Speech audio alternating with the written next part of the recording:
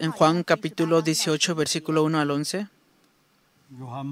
Juan capítulo 18, versículo 1 al 11. Leamos la palabra. Habiendo dicho Jesús estas cosas, salió con sus discípulos al otro lado del torrente de Cedrón, donde había un huerto, en el cual entró con sus discípulos. Y también Judas, el que le entregaba, conocía aquel lugar, porque muchas veces Jesús se había reunido allí con sus discípulos.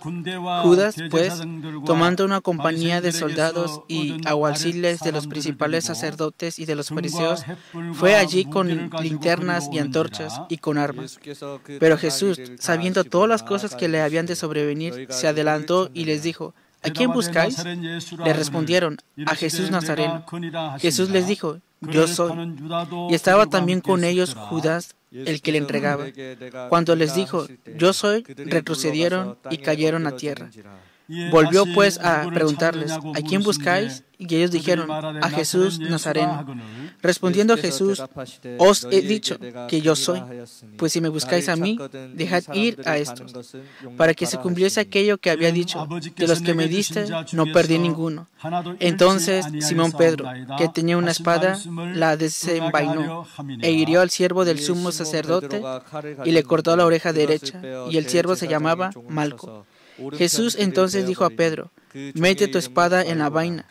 La copa que el Padre me ha dado, ¿no la he de beber?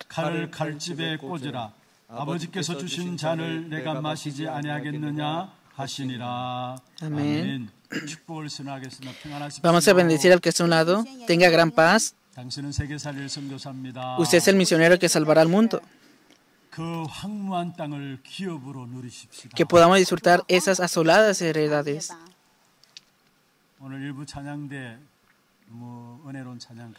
Estoy agradecido porque he recibido gracia a través de este coro de alabanza del primer culto. Y he recibido gran gracia a través de esta confesión que he escuchado. Así, ¿verdad? No hay algo más valioso que no sea Jesús para nosotros. Solamente está Jesús.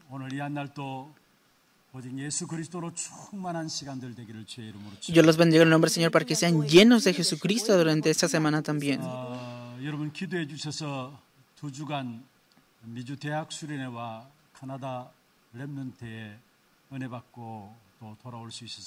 Estoy agradecido porque han podido orar por mí, porque he estado en la conferencia de, de universitarios en Estados Unidos y en Canadá y he podido regresar.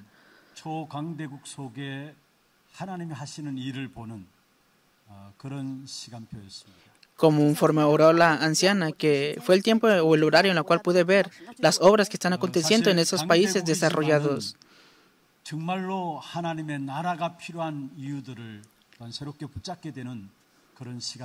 Claro, son países desarrollados, pero así, ¿verdad? Son países que necesitan las obras del reino de Dios y me ha aferrado a este pacto. Así, ¿verdad? En Estados Unidos el Evangelio se está debilitando, está disminuyendo. Y es lo mismo en el, en el campo de Canadá.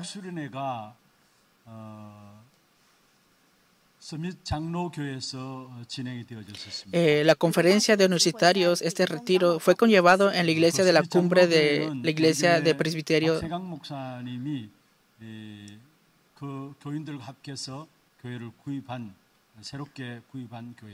Y vemos que el misionero Par eh, juntamente estaba ya con sus creyentes y escogieron este nuevo lugar que están ahí. Pero así, es una iglesia que ya estaba establecida, que ya tiene más de 60 años que se estableció.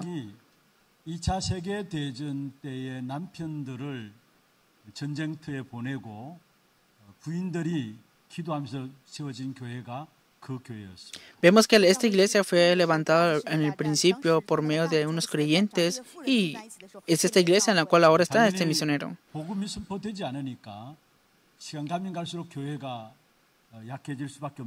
Claro, como no se proclamó correctamente el Evangelio, pasando el tiempo se fue debilitando la iglesia.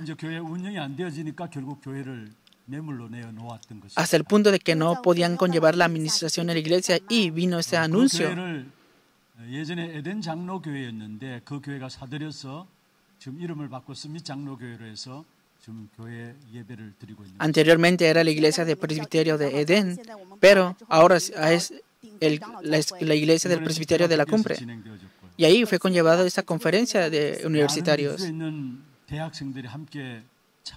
Y asistieron muchos universitarios que están en Estados Unidos en esta conferencia.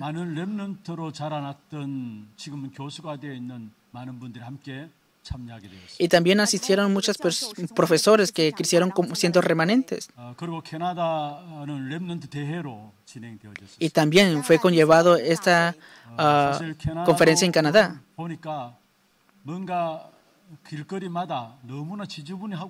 Pareciera que íbamos en el camino en Canadá, pero pareciera que como que todo estaba oscuro. Incluso espiritualmente pude ver que todo estaba en oscuridad.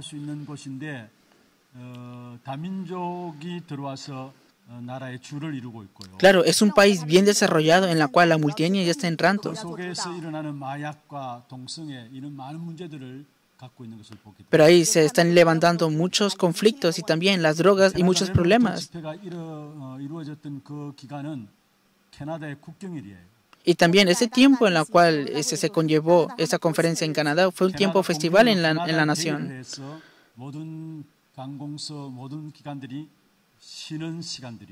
Y fue un tiempo de descanso porque era un día festival de la nación en ese tiempo y por eso hubo descanso.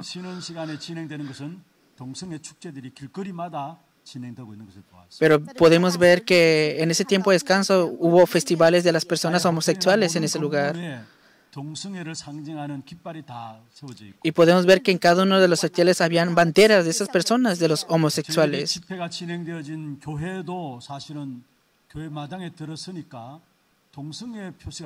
Incluso dentro de la iglesia donde fue conllevada esta conferencia, tenían una bandera de los homosexuales. Hasta el punto de que pensé, ¿será una iglesia esto? Porque estaba esa bandera de estas personas y estaba una cruz ahí también. Y dentro de la iglesia crearon esta iglesia con muchas palabras bonitas de todas las religiones de este mundo. Y también ahí estaba la cruz. Y también pude ver que en los baños estaba un baño también, un lugar especial para las personas homosexuales. En otras palabras, no hay evangelio. Entonces, pasando más el tiempo, no tiene más remedio que se levanten los desastres en ese lugar. Pero aún en esos campos se están conllevando las obras del reino de Dios. Entonces, ¿qué es la obra del reino de Dios? 그냥 내버려 두지 않으시고 그 민족을 회복하기 위해서 복음 가진 렘넌트들을 하나님께서 en ese país en donde no hay evangelio, en ese campo donde no hay evangelio y, se están levantando los desastres, ahí están las personas, los remanentes que poseen el evangelio y a través de ellos se restaura todo esto. Estando en este lugar pude presentir esto. Fue lo mismo tanto en ese retiro de universitarios y en Canadá. Y de igual, fue en, eh, en el regreso pude presentir esto.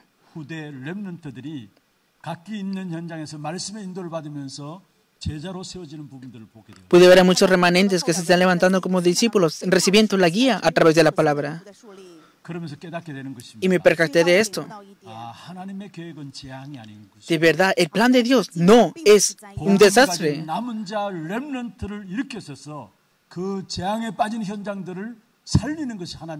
El plan de Dios es levantar a los remanentes que poseen el Evangelio en esos campos donde están los desastres. Es verdad, en Estados Unidos se están levantando muchos remanentes. Es lo mismo en Canadá. En esta conferencia en Canadá vino una persona a recibir asesoría. Son personas de élite que han salido en academias muy importantes. Y son personas que están haciendo investigaciones, especialistas en esa nación. Y haciendo la asesoría con ellos, ellos me pidieron eso.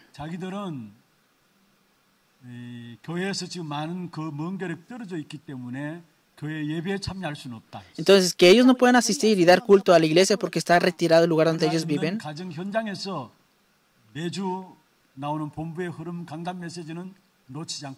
Pero no están dejando escapar el mensaje de la sede central en el lugar en donde viven.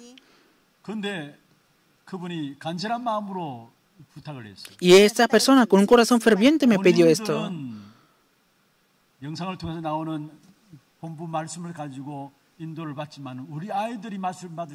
Claro, la persona está recibiendo la guía a través de los mensajes de la sede central, pero no hay un mensaje especial para sus hijos, dijo esto. Tiene tres niños pequeños.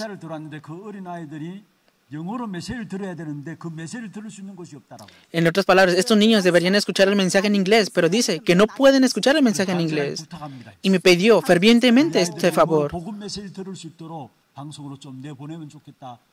Sería bueno que nos enviaran videos para que puedan escuchar estos niños el mensaje en inglés.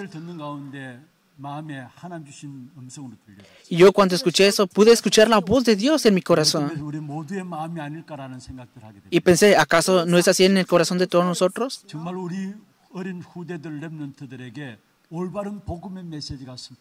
De verdad, se debe proclamar correctamente el mensaje del Evangelio a los remanentes jóvenes. Y entonces se puede salvar esa época.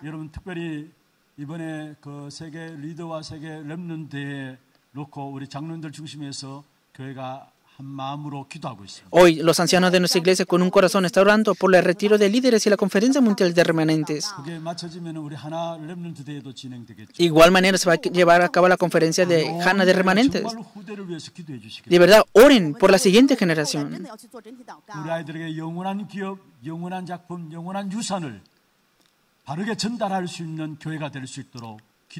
Oren para que de verdad nuestra iglesia pueda transmitir la heredad, la obra maestra y la herencia eterna. Porque es la única respuesta para poder solucionar el problema del desastre de la época.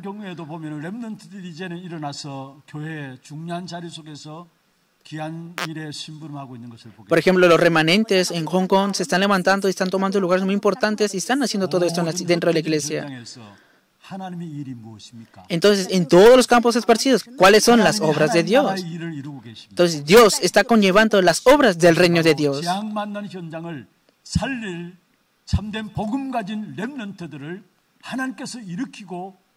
Dios está conllevando a los remanentes que poseen el correcto evangelio para detener los desastres en esos campos.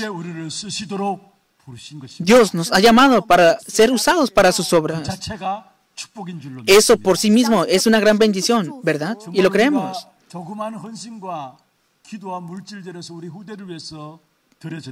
De verdad, nosotros nos devocionamos un poquito y entregamos nuestras cosas materiales por la siguiente generación.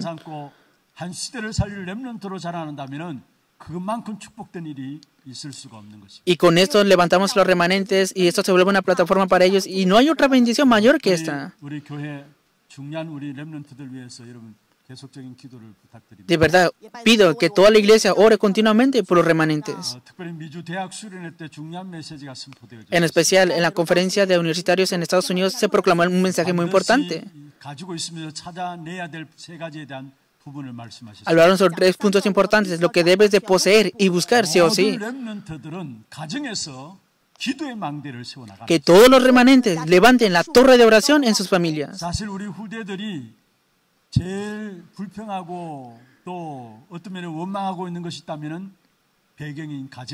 Claro, para los remanentes puede ser incómodo o este trasfondo familiar.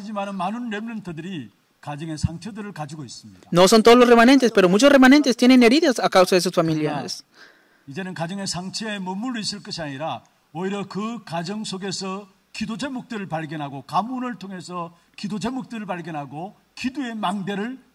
Levanten la torre de la oración. Ya no queden atrapados por las heridas. Ahora tomen los sitios de oración para orar continuamente por sus familias.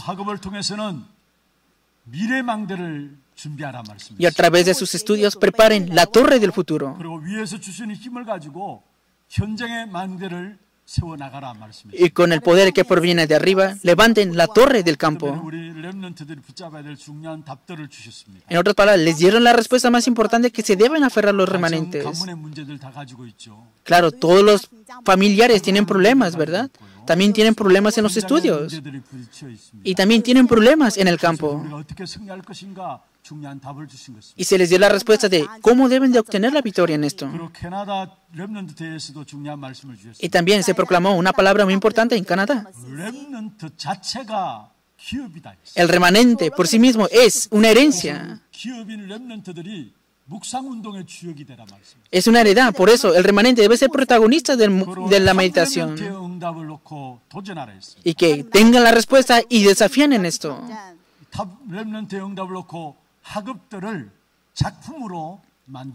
Que cada remanente debe levantar la obra maestra en sus estudios.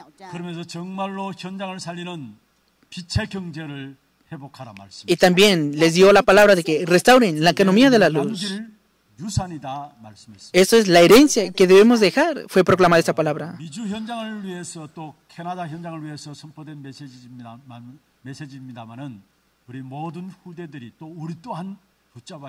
Claro, fue el mensaje que fue proclamado en la conferencia de remanentes en, Estados Unidos y en Canadá, pero así, ¿verdad? Todos los remanentes y nosotros debemos de aferrarnos a esta palabra. Yo los bendigo en el nombre del Señor para que los remanentes se aferren a este pacto. El título del día de hoy es Las obras del reino de Dios que hizo Jesucristo. Nosotros viviendo en esta tierra, ¿qué es lo que debemos disfrutar en gran manera?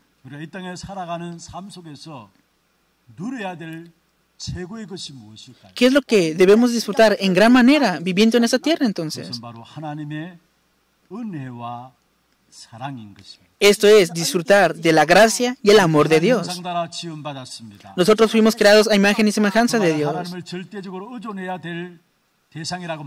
Esto significa que deberíamos de depender completamente de Dios.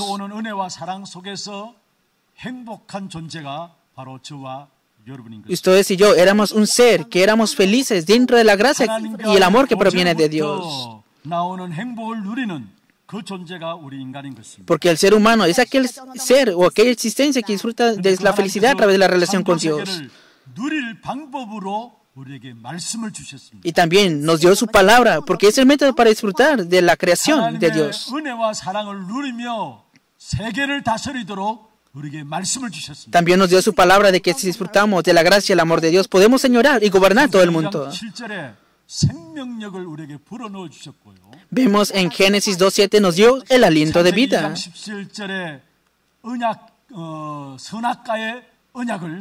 Génesis 2.17 nos dio el pacto del conocimiento del bien y del mal.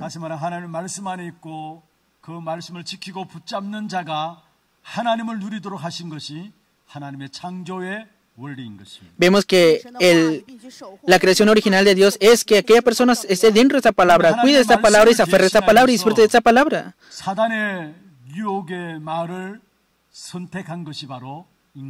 Pero al final el ser humano escogió la tentación dada por Satanás en vez de la palabra de Dios. Claro, el ser humano fue creado para disfrutar dentro de la palabra de Dios. Pero vemos en Génesis capítulo 3 que el ser humano fue tentado por Satanás. Entonces estuvieron dos elecciones delante del ser humano. O tenía dos elecciones, o era seguir la palabra de Dios o escuchar las palabras de Satanás.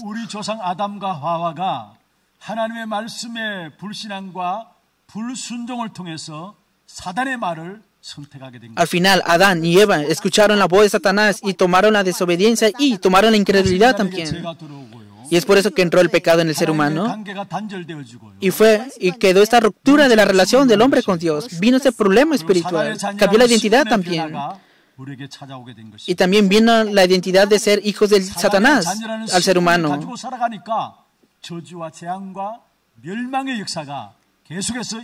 Como el ser humano tiene la identidad de ser hijo de Satanás, no tiene más remedio que estar en desastre, maldición y en perdición.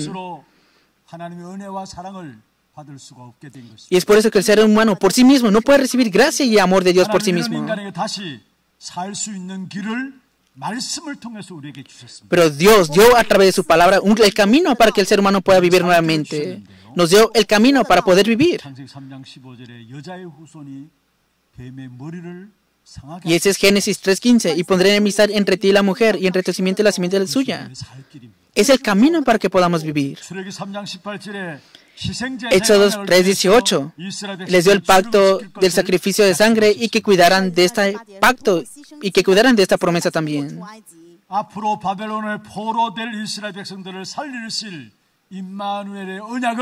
Isaías 7:14 también les dio la promesa de Emanuel para que fueran salvados por en el futuro cuando iban a ser gobernados por Babilonia. Y aquí que la Virgen concebirá y dará a luz un hijo y llamará su nombre Emmanuel, dice la palabra. Fueron gobernados por Roma también. Y también se les dio la promesa de que a través de la promesa de Cristo serían avivados. Y la persona que confesó este pacto fue Pedro. Es la palabra Mateo 16, 16. Respondiendo a Simón Pedro dijo, tú eres el Cristo, el Hijo del Dios viviente. Es lo que la palabra está diciendo.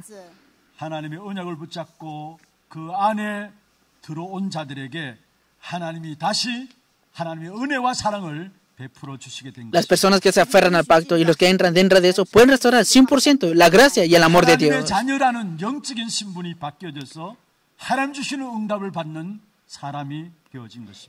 Ser hijos de Dios significa que tu identidad ha cambiado y es de recibir las respuestas.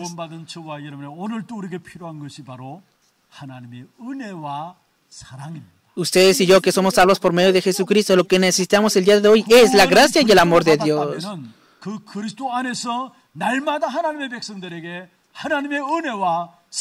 Si de verdad recibimos la salvación por medio de Jesucristo, ustedes y yo necesitamos todos los días el amor y la gracia de Dios y recibir la guía a través de Él. Hoy es el día de acción de gracias, ¿verdad?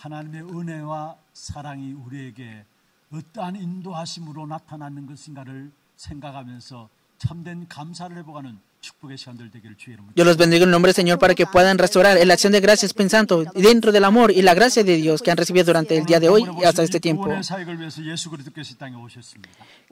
La razón por la cual vino el Señor Jesús a esta tierra, ¿cuál es?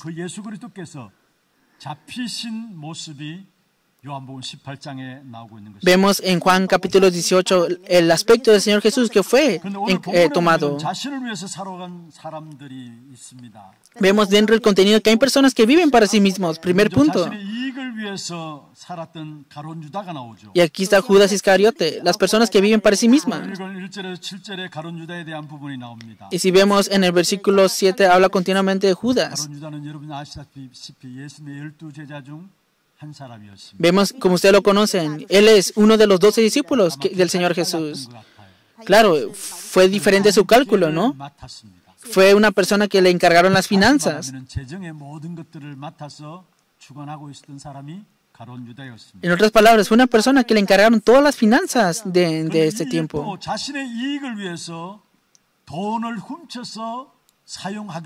Y vemos que él robaba la economía para su propio beneficio. No lo leímos, pero hoy sale en Juan capítulo 12. Es lo que aconteció ante Jesús. Él entró a esta región de Petania.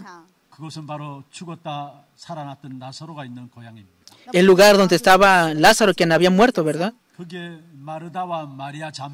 Y también ahí está María y Marta.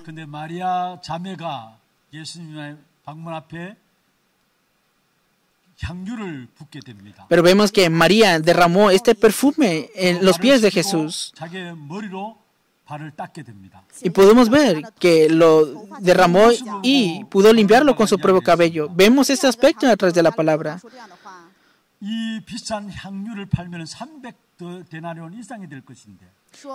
Dijo este Judas que pudieran haberlo vendido, ¿verdad? Dijo, ¿por qué no fue este perfume vendido por 300 denarios y dado a los pobres? Pero sí, ¿verdad? No era el pensamiento de que quería darle a los pobres Judas esto. Hoy la misma Biblia nos está diciendo la respuesta, que era ladrón.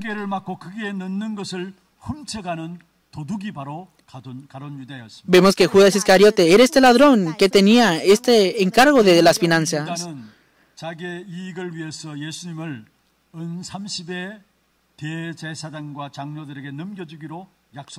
Pero vemos al final que es para su propio beneficio. Este Judas Iscariote, este ladrón, vendió al Señor Jesús por 30 monedas de plata. 30.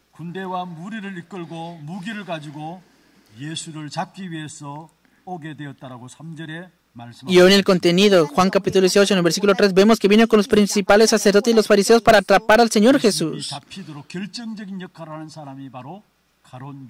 Que Judas Iscariote fue la persona que determinó ese punto principal para atrapar al Señor Jesús.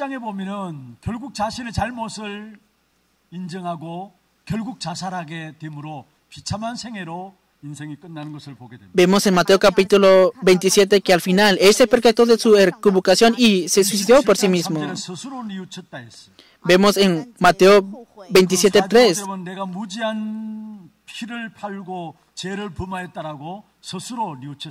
que él por sí mismo, en el versículo 4, yo he pecado entregando sangre inocente, dijo. Y al final vemos a través de la palabra que se suicidó.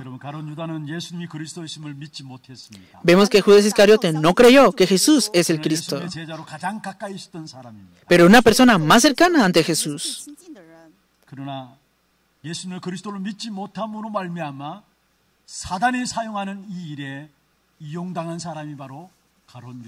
Entonces, como no creyó en Jesús, el Cristo al final fue una persona que fue utilizada por Satanás. Hoy dice la palabra en Juan capítulo 13, versículo 2. Y cuando cenaban, como el diablo ya había puesto en el corazón de Judas Iscariote, hijo de Simón, que le entregase.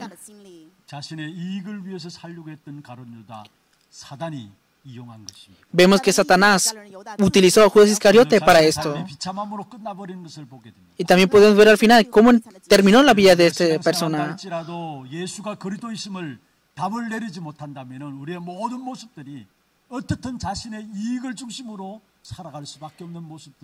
Haciendo la vida de fe. Si no tenemos la conclusión en Jesucristo, al final podemos ver que siempre vivimos siempre por nuestros propios beneficios.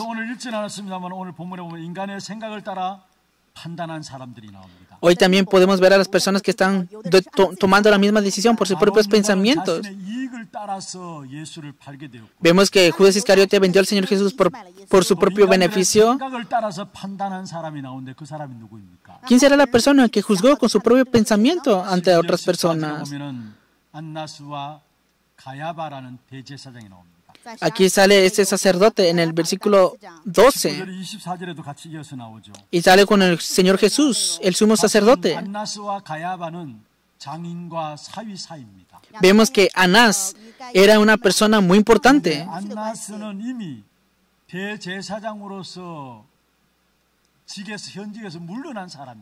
Y claro, en ese campo, Anás era el sumo sacerdote muy importante de ese lugar.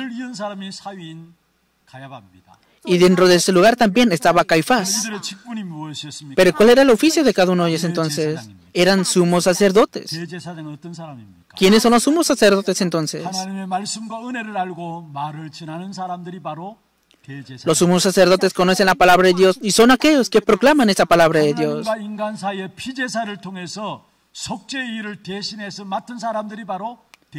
Los sumos sacerdotes eran los encargados de derramar la sangre por el perdón de los pecados del pueblo. Y vemos que los sumos sacerdotes al final estaban esperando a Jesucristo.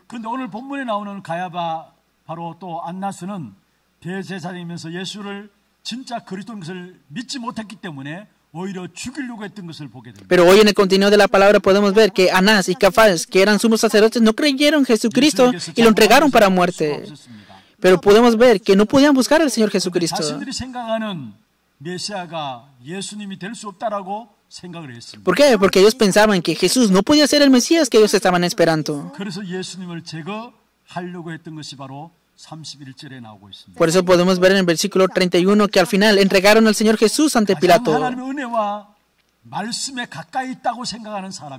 Eran personas que estaban cerca de la palabra y de la gracia también.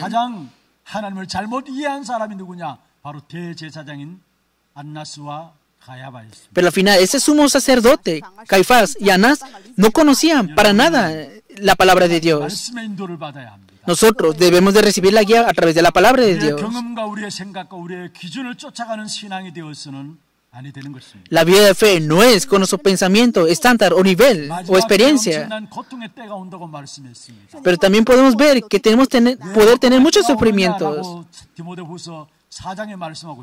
También en 2 Timoteo capítulo 4 nos habla de por qué vienen los sufrimientos hacia nosotros. 2 Timoteo capítulo 4 versículo 3 dice así. Que no os vendrá una sufrimiento.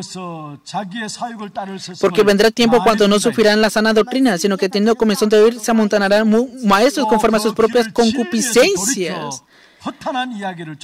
Versículo 4. Y apartarán de la verdad el oído y se volverán a las fábulas. En el último tiempo tenemos que recibir la guía a través de la palabra de Dios.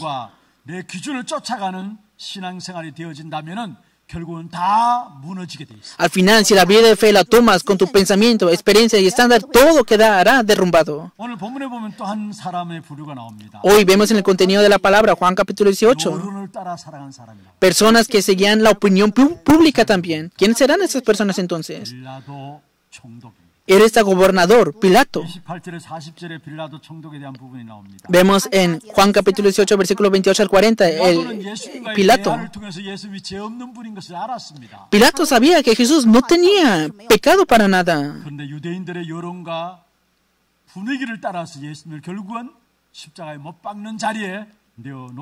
Pero vemos que al final, siguiendo la opinión pública de los judíos y, de la, y del ambiente, llevaron a Jesús a ser crucificado. Entonces, ¿cuál es el mayor interés de los gobernantes entonces? ¿Acaso no es la opinión pública?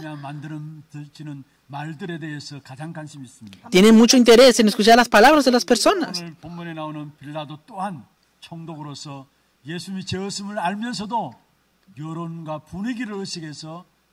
Vemos que este gobernador, Pilato, sabiendo que el Señor Jesús no tenía ningún pecado, al final, siendo conllevado por el ambiente de la opinión pública, llevó al Señor Jesús a la crucifixión.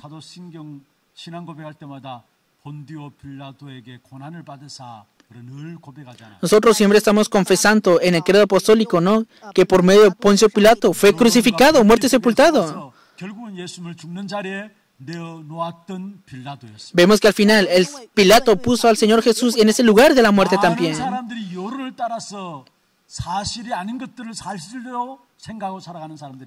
Muchas personas siguen la opinión pública sin darse cuenta que están viviendo de eso. Entonces, las personas, ¿por qué hacen la opinión pública entonces? Por eso nosotros no debemos seguir la opinión pública. Nuestro estándar debe ser solo Cristo y la palabra.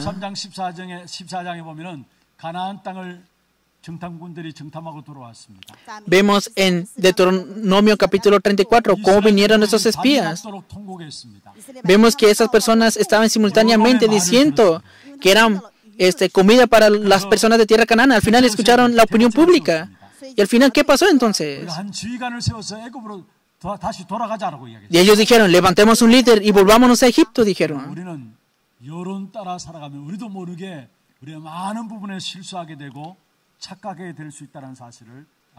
Nosotros debemos saber de que siguiendo la opinión pública no nos damos cuenta, pero muchas veces malinterpretamos y tomamos decisiones incorrectas.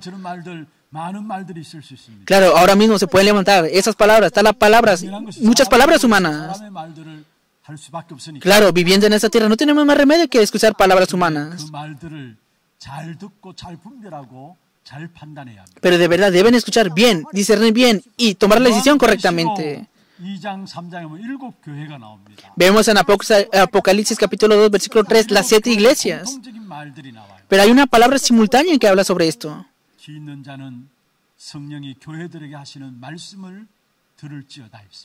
Dice que escuchen eh, la palabra del Señor. Por eso es muy importante escuchar la palabra. No reciban la palabra con su propia emoción, estándar o pensamiento.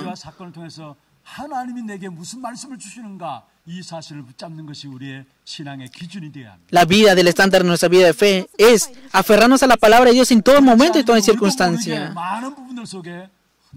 Si no es así, nosotros sin darnos cuenta seremos movidos por muchas cosas. El estándar de nuestra vida de fe debe ser solo la palabra. Por eso todos los días confirmen a través de la palabra y salir con esto. ¿Por qué será que es así entonces? Porque a través de la palabra de Dios es el método en el cual Dios obra. El método para que Dios dé la respuesta es a través de la palabra. El hecho de que te aferres correctamente al pacto es el comienzo de la respuesta por sí mismo. Entonces, todos los días debemos de confirmar qué es lo que Dios me está queriendo decir a través de su palabra. ¿Por qué será que es así entonces? Es lo que dice la palabra en Salmos 100 que el lámpara es a mis pies, la palabra del Señor. Y yo los bendigo no, en el nombre del Señor para que siempre estén buscando la palabra de Dios.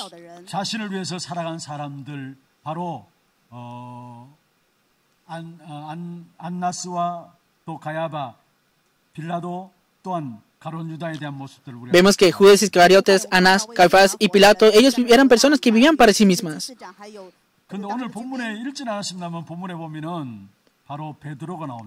Hoy no lo leímos, pero vemos que también surge Pedro.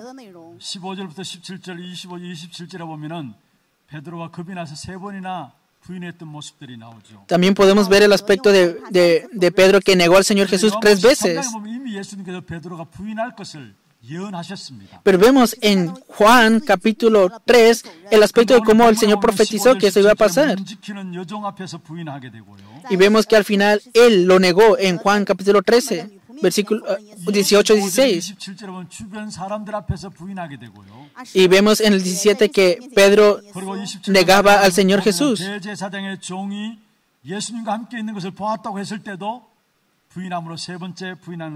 Y vemos en el versículo 25, la tercera vez que Pedro negó al Señor Jesús delante del sumo sacerdote. Entonces, ¿quién es Pedro? Es uno de los discípulos del Señor Jesús. Es aquella persona que confesó a Jesucristo, Mateo 16, 16.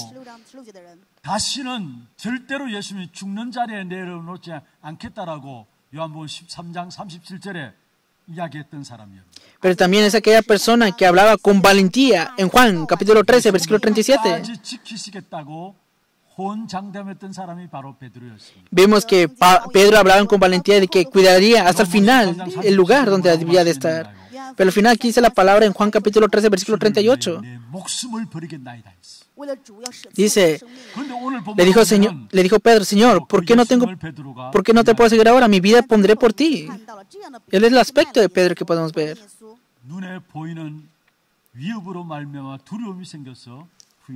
Vemos que al final Pedro negó al Señor porque venía el temor físico que se miraba ante sus ojos. No es que lo negó porque no creía en el Señor Jesús. Vemos que lo negó porque estaba atemorizado por la realidad que se le presentaba en ese tiempo. Pero al final vemos que el Señor Jesús vino a buscar a Pedro quien lo, quien lo negó. Le preguntó, Simón Pedro, hijo de Jonás, ¿me amas? Juan capítulo 21, versículo 15 es el continuo de esa palabra. ¿Qué es lo que confesó Pedro entonces? Señor, tú sabes que te amo. Y le respondió tres veces y la misma respuesta fue tres veces. Y al final le dijo, apacienta mis ovejas.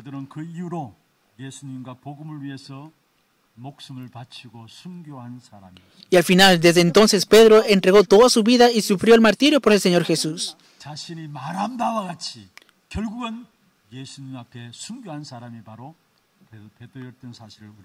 Negó a su propia persona, a su propio yo, y al final fue, fue al martirio por el Señor Jesús. Claro, lo negó por un momento por el temor al Señor Jesús, pero creía en Jesucristo. Y podemos ver que al final entregó su vida para ser la vida del evangelista.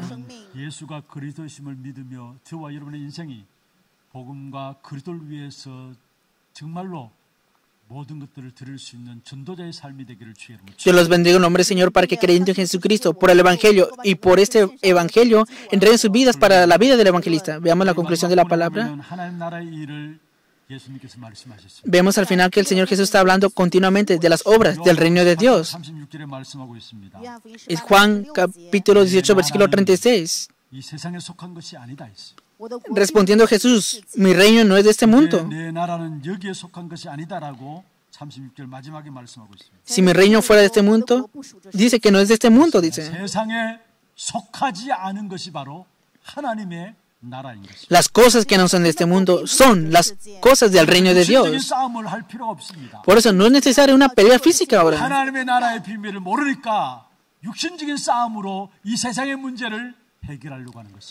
Como no conocen las partes espirituales, siempre deben de solucionar la batalla espiritual. A los que creen en Dios se le establecerá el reino de Dios.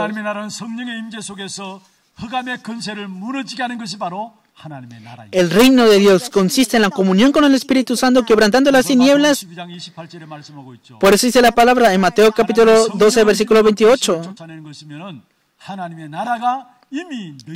Pero si yo por el Espíritu de Dios echo fuera los demonios, ciertamente ha llegado a vosotros el reino de Dios. Vimos que el Señor Jesús vino para este reino, vino como el rey del reino. Es lo que dice el continuo de la palabra. También en el versículo 37 habla sobre Jesucristo, quien es el rey de ese reino. Vemos el aspecto de Pilato. Le dijo entonces Pilato, luego, luego ¿eres tú rey? Respondiendo Jesús, tú dices que yo soy rey. Juan 18, 37. Jesús vino como rey a este mundo. Y también nació en esta tierra. Y para esto nació y para esto vino a esta tierra. Él vino para hacer las obras del rey. Por eso dice la palabra en Hebreos capítulo 2, versículo 14 y 15.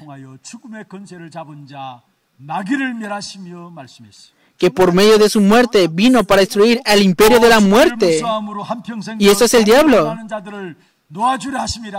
y librar a todos los que por el temor de la muerte estaban durante toda la vida sujetos a servidumbre. La obra por la cual vino el Señor Jesús es para hacer la obra del rey, para derrotar al que tenía el imperio de la muerte y a los que están esclavizados por la muerte. Primero Juan 3.8 dice así. Dice que el que practica el pecado es el diablo. Porque el diablo peca desde el principio, dice la palabra. Pero para esto apareció el Hijo de Dios, para deshacer las obras del diablo.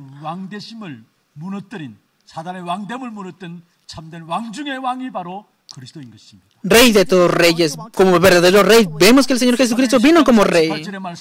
También dice Hechos capítulo 10, versículo 38. Dice que Él sanó a todos los que estaban oprimidos por el diablo. que Él como verdadero rey vino para sanar a todos los que están oprimidos por el diablo. Yo los bendigo en nombre del Señor para que Jesucristo sea el dueño de la vida de ustedes que vino como el rey en esta tierra. Y entonces vendrá la verdadera libertad y disfrutarán de esto. Veamos la conclusión de la palabra.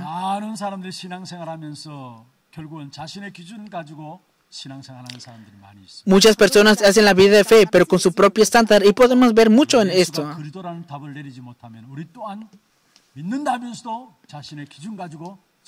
Incluso si nosotros nos damos la conclusión en Jesucristo, nosotros sin darnos cuenta vivimos con nuestro propio estándar. Claro, podemos derrumbarnos y ser débiles también. Pero en ese entonces, levántense con la palabra. Claro, así como Pedro se derrumbó, nosotros podemos estar en esa posición también. Pero ¿a causa de qué Dios nos ha llamado entonces? Él nos llamó como evangelistas para ser testigos hasta lo último de la tierra.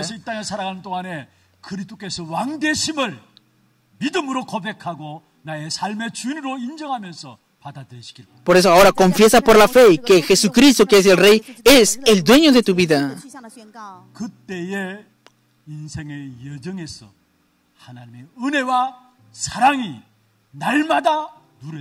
Y entonces en ese itinerario todos los días has de disfrutar la gracia y el amor de Dios. Obtenga la victoria en esto. Yo los bendigo en nombre del Señor Jesús. Vamos a tener, mientras alabamos, vamos a tener tiempo de oración y aferrarnos a la palabra. Vamos a confesar un himno. La oración del discípulo evangelista que está en el amor y la gracia de Dios. Primer punto. Que torre, itinerario, guía de señal, que a través de la oración pueda disfrutar esto y que pueda profundizar la relación con Dios. Segundo punto, que no es con mi experiencia, pensamiento o estándar haciendo la vida de fe, sino que es con el método de Dios, siguiendo la palabra de Dios y recibiendo la guía en esto. Tercer punto, que pueda vivir la vida que, en el cual Jesucristo es el dueño de mi vida. Confesemos por esta alabanza que Jesucristo es el dueño de nuestras vidas.